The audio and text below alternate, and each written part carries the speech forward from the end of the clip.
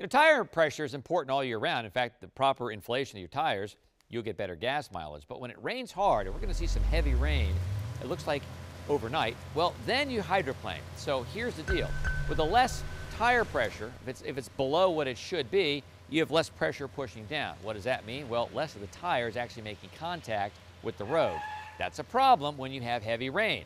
So if it's not properly inflated, you can usually find those numbers on the inside of your door. You've got to check that and make sure that they're inflated. You'll be less likely to hydroplane when heavy rain rolls in. You also get better gas mileage.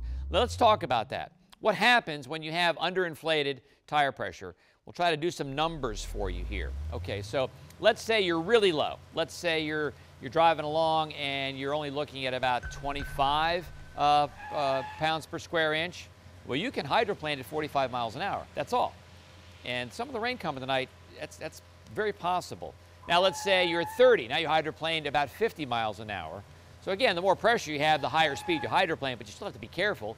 At 35, now you're hydroplaning around 53 miles per hour.